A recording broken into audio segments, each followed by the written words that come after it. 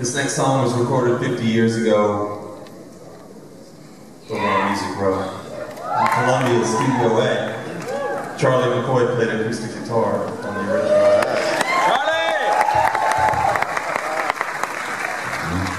It's one of the most beautiful songs ever written and played.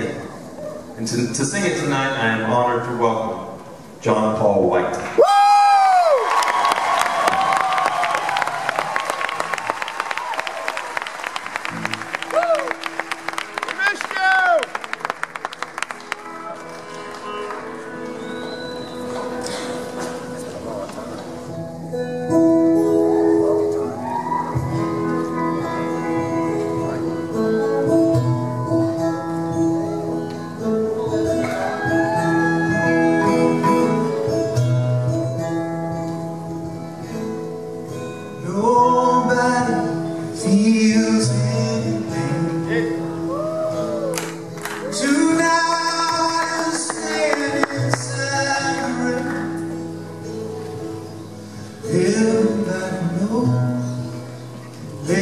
Ladies got clothes.